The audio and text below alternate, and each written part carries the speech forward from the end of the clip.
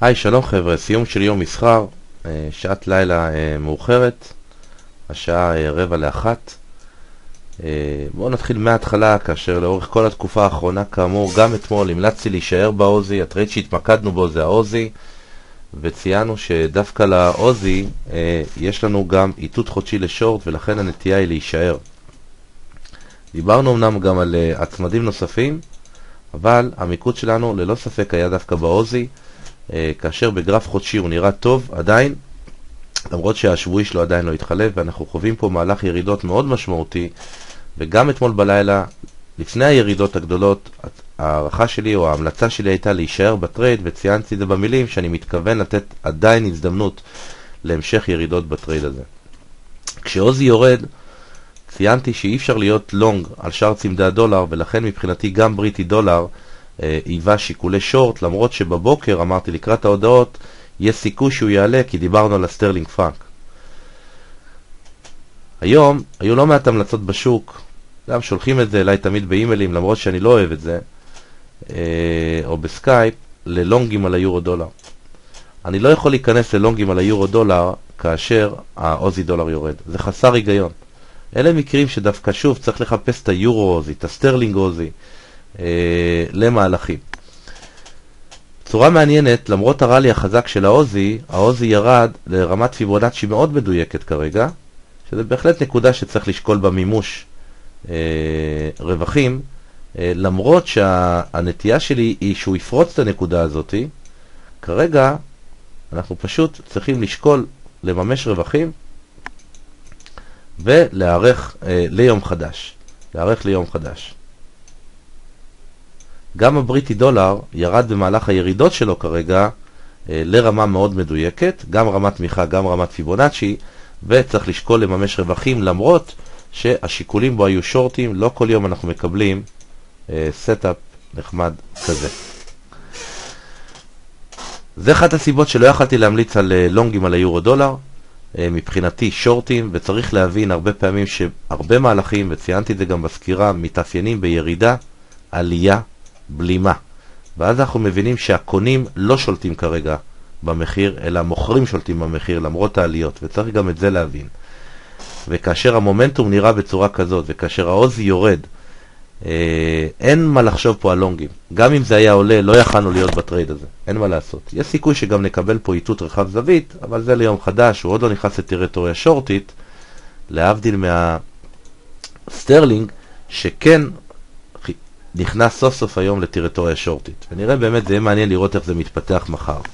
צריך להבין שאחרי ירידות כאלה חדות, יכולות, אנחנו יכולים גם אה, לצפות אה, תיקונים, ואנחנו צריכים אה, באמת uh, לפעול בזהירות uh, ולא למהר, ולא למהר. סך הכל היו פה הרבה מימושים, uh, והחבר'ה אצלנו בחדר הקולי דיווחו על כמות רווחים עם כל ההגדלות שעשינו, שהם לא רוצים לחלוק את זה עוד פעם, כי לא יאמינו להם, פשוט לא יאמינו להם. להרוויח ביומיים 1,200, 1,300 פיס וגם יותר, זה לא דברים רגילים, וככה אנחנו עובדים עם ההגדלות, רגוע, מינופ, מינופים קטנים, אה, הגדלות מימושים, הגדלות מימושים. גם אני בוודאי לא יכול להתלונן. סך הכל זה trade שהתעקשתי אה, ב Aussie דולר, שאת רוב הכסף אני שם עליו, את רוב ההגדלות שמתי עליו, וסך הכל גם את רוב הרווחים אה, קיבלתי בסופו של דבר מהחשבון הזה. היום דיברתי על הפרנקים, ומאוד רציתי שלקראת הודעת הריבית, אה, הסטרלינג פרנק שישב ברמה מאוד מדויקת היום, ישמור על הרמה הזאת. הוא באמת עלה היום, אבל המומנטום שלו לא התחלף, ואחרי זה הוא נפל בצורה חדה. בעיתות משבר אני מאוד נזהר מהינים והפרנקים. מי שמכיר את השוק הזה יודע שבעיתות משבר מי שמתחזק בשוק מאוד זה הינים, הפרנקים, ומי שנחלש זה העוזי. ולכן הייתי חייב לקבל אישור בשאיפה שהפרנקים ישמרו על איזושהי רמה לקראת הודעת הריבית מחר על הפרנק, בשאיפה שנראה שם את הפרנק נחלש. והצמד שאמרתי שעליו הייתי שם את הכסף זה היה יורו פרנק, ודווקא הוא כבר נפל.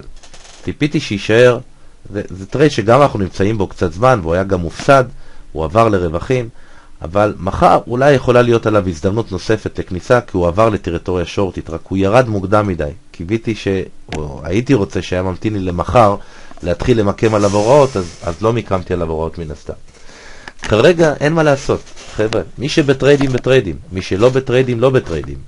אה, אי אפשר לבוא ולהמליץ להיכנס לטריידים בראלי הזה שאנחנו נמצאים בו. השאיפה שלי כרגע זה לראות את היורו דולר שנתן הכי מעט כסף, הכי מעט כסף, אה, אבל עדיין נתן כסף, אבל הכי מעט, לראות אותו כן ממשיך לרדת. זאת אומרת, ה trade הפוטנציאלי שיכול עוד לתת משהו ולא נתן, זה דווקא היורו דולר.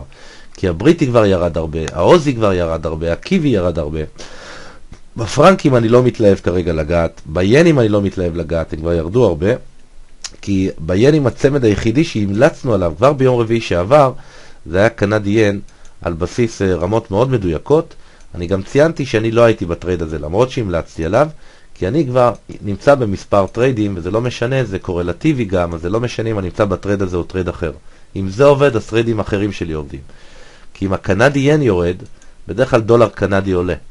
אוקיי, והדולר קנדי מאוד עלה. ואם דולר קנדי יורד, אז Aussie דולר יורד. אז מה זה משנה? הייתי ב Aussie, העדפתי פשוט לתגבר טריידים על ה Aussie, אה, במקום להיכנס לטריידים חדשים. ה Aussie שוב, נראה עדיין בגרף חודשי לשורט, ולכן השאיפה שלנו תהיה לחפש אה, אפשרות לתיקון ולהמשיך להצטרף למהלך.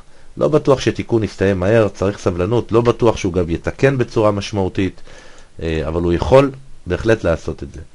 מבחינתי, כרגע על הפרק זה לא יהיה העוזי, כבר סחטנו אותו בצורה יפה, זה לא יהיה הבריטי, אנחנו נמצאים בטריידים על הבריטי, מימשנו רווחים על הבריטי, והוא נמצא בנקודות בעייתיות, הוא הגיע לנקודת תמיכה מאוד משמעותית, שהוא יושב עליה מאוד מאוד חזק כרגע, והשאיפה שלי מחר זה לראות אותו פורץ, אה, במידה והוא יצבור טיפה כוח לפריצה במהלך הלילה.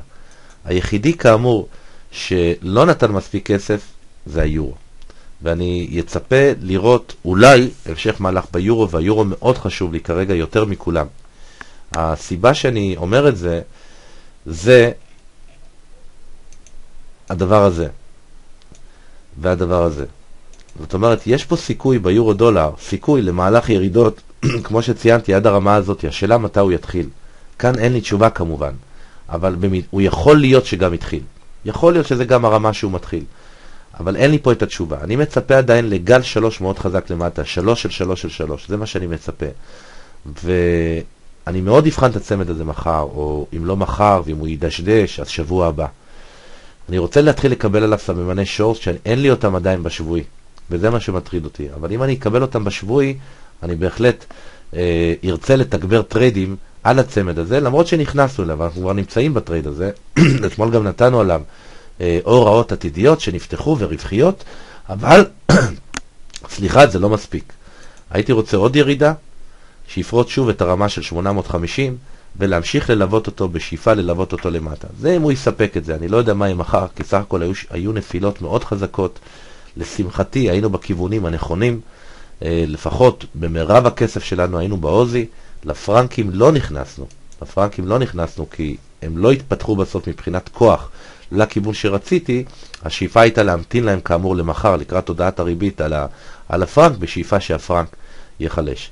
אבל הפרנק יהיה גם trade שאנחנו נמצאים בו לא מעט זמן, בסך הכל עשה גם הוא עבודה יפה, אבל אתם רואים את התנודתיות החדה בשוק, אה, ירידה ברגעים של 100-200 אה, פיפסים, עלייה חזרה של 200 פיפסים, ולכן צריך להיזהר, ואני נרתע כרגע מעבודה על הינים, מה שאני יכול להיפטר מטריידים על הינים, נפטרתי. אני עדיין נמצא במטבעות הראשיים, אני עדיין נמצא ביורו, אני בהחלט אבחן אותו מחר. אנחנו כל פעם עשינו עליו יחסית מימושים מהירים, כי כאן עדיין חששתי כי הוא לא עמד לי בקריטריונים. הבריטי סיפק כן אישור להמשך ירידות היום, ולכן נשארנו בו בגרף יומי, וכרגע, מהסיבה הזאתי, אין עדיין מה להמליץ על טריידים חדשים. מה שיצא לדרך, יצא לדרך. השאלה אם אפשר להצטרף. אני בשאיפה להמשיך ולתגבר טריידים, הצמד היחיד שאני מניח שאני אשקול לעשות את זה כרגע זה היורו דולר. אני אבחן מחר את הפרנקים בכל זאת, נראה איך הם מתנהגים. אה, אין לי משהו בדולר פרנק, במיוחד בימים האלה שאומר לי עלייה, אני לא רואה, היום דווקא הייתה נטייה למחשבה לעלייה, למרות שאני ש אה, רוצה להמתין לאיתות, הוא לא סיפק, לא הוא ולא הסטרלינג פרנק, נראה מה יהיה איתם מחר. נראה מה יהיה איתם מחר. בסך הכל בסופו של דבר הם נפלו. ואני שמח שנצמדתי לכללים, הם לא עמדו בקריטריונים, לא נכנסנו אליהם, למרות ששמרו על רמות מדויקות, היורו פרנק, הסטרלינג פרנק, ה Aussie פרנק, אבל ציינתי את החשש מעבודה עם הפרנקים. זהו, כאמור, אין לי מה לחדש. הצמד היחיד שאני אשקול להוסיף עליו כסף אולי, במידה ואני אה, אראה אפשרות להמשך מהלך ירידות, זה יהיה היורו דולר.